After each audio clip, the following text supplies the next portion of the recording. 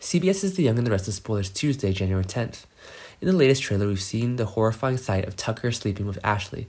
Just a few days ago, he made Audra happy in bed, and now he's making Ashley the next victim. Tucker's flirting was so horrible that women were easily fooled by him, but that's not the main reason.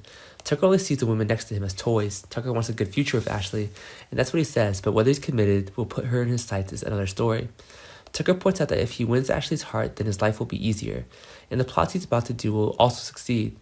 Adam refused Victor to return to Newman Enterprises, and he made a condition to his father that if he wrote a will and gave all of his assets back to Adam, with the consent of the siblings, he would return. Adam doesn't want to go there and have a dispute, he just lets it happen. Victor only wants Adam to be the CEO of Newman Enterprises. Victoria and Nick can't afford it. Jack and Diane are suspicious of each other. Diane gets angry when Jack is stalking her. She gets offended when Jack does, but it's the right thing to do. Jack doesn't trust Diane and knows that she's up to something. Devin tells Tucker that if he wants to stay in Genoa, he has to live a decent life. And if he wants to go to war with others, don't drag Devin into it, because he's a life of his own.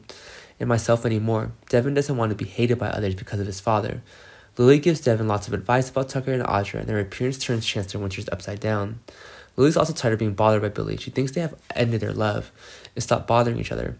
What about Abby and Devin? How do you feel about after having sex? Will they continue to love each other, or are they embarrassed to do this? Abby has no feelings for Devin at all, just a temporary one, and that's why she agrees to sleep with him. Has the Chance forgotten Abby or not? Does he follow her and pray for her to meet a good man who truly loves her and Dominic?